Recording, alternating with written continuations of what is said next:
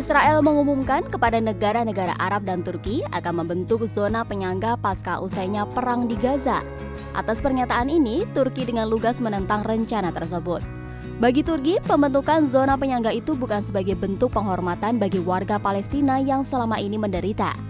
Presiden Turki Recep Tayyip Erdogan mengatakan, masa depan Gaza setelah perang seharusnya ditentukan oleh warga Palestina sendiri, bukan Israel. Saya bahkan menganggap perdebatan soal rencana ini tidak menghormati saudara-saudara saya di Palestina. Bagi kami, ini bukan rencana yang bisa diperdebatkan, dipertimbangkan, atau dibicarakan, kata Presiden Turki Recep Tayyip Erdogan.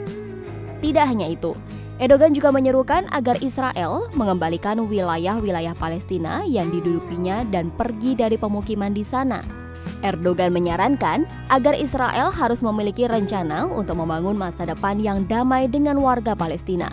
Selain itu, Turki juga menunjukkan sikap berbeda dibandingkan dengan negara-negara Arab dengan menganggap Hamas bukan sebagai kelompok teroris.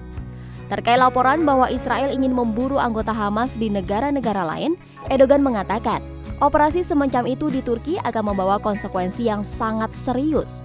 Bahkan, Erdogan mengancam ada harga yang sangat tinggi yang harus dibayar oleh Israel saat operasi tersebut dilakukan di Turki.